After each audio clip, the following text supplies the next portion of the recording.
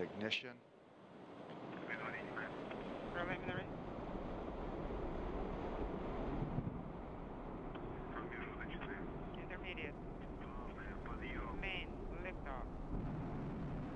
And liftoff of the uh, Soyuz 27 rocket and spacecraft carrying Mike Fossum, Satoshi Furukawa, and Sergei Volkov into orbit. Copy. First sounds great. Everything is in view.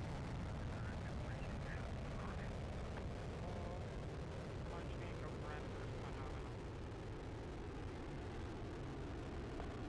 Good first stage performance. Are firing nominally. 102 tons of thrust from the four boosters and single engine.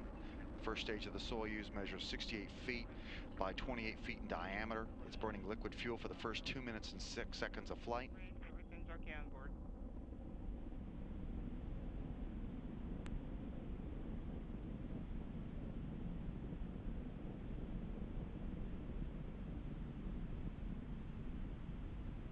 one minute into the launch of Soyuz 27 to the International Space Station. All systems go.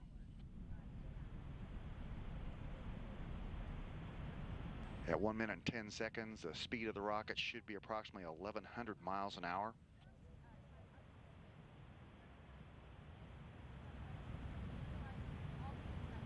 Standing by for the jettison of the four strap-on boosters, 1 minute 58 seconds into the launch. Launch vehicle parameters are nominal. Victor feels great. Everything is okay on board.